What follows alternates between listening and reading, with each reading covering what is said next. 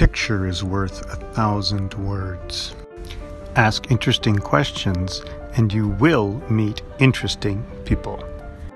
Draw a picture of the interesting person.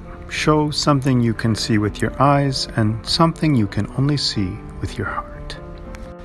Spread out all the pictures. Describe your person and see if other people can find them. I talk to a person who has a hard time trying to do what they know is right and following what they want in their heart. Got it? Here's a little own work for you. How would you describe yourself in three words? How would you describe yourself in three pictures? Have fun.